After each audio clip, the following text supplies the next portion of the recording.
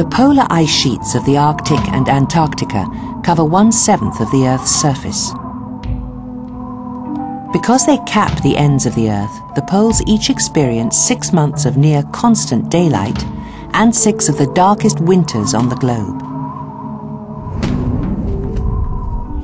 Home of the South Pole, Antarctica is a continent of extremes. The highest, driest and windiest place on Earth, Antarctica is technically a desert, trapping 70% of the world's fresh water in 90% of the world's ice. There isn't even enough water in the dry air to make snowflakes here. Instead, Antarctica produces diamond dust, best seen at night.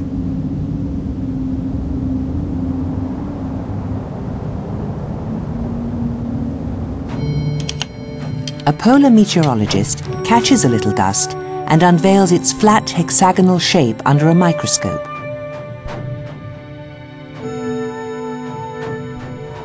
During the day, diamond dust creates an eerie halo in the sunlight.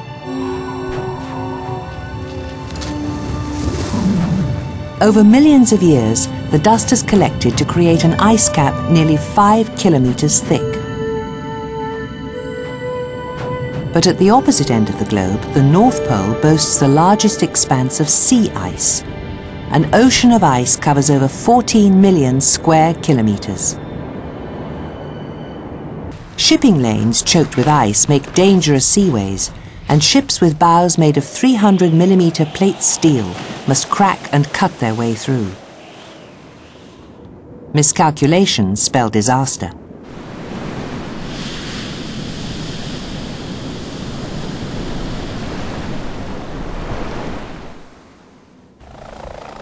Ships running the lanes early or late in the six-month season are often supported by helicopters, charting the safest routes from the skies. South of the North Pole, Greenland glaciers push to the sea and carve as many as 15,000 icebergs in a year. The rogue chunks of ice may tower as high as office buildings, but even greater expanses float unseen below the water's surface. To protect ships from running into icebergs, the US Coast Guard flies an ice patrol. They relay warnings to ships on a collision course.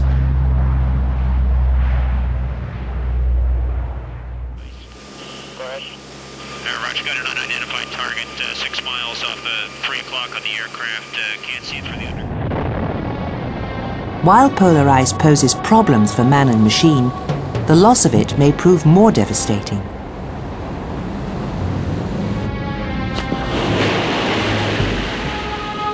For the past 30 years, the ice shelves around Antarctica have been shrinking. They're disappearing at a rate of more than 1% every 10 years. Global warming, caused by a buildup of man-made greenhouse gases, makes a little more ice melt each year. Melt all the ice sheets, and the sea level would rise a devastating 60 meters. Remote as they are, the ice cap's influence travels the globe.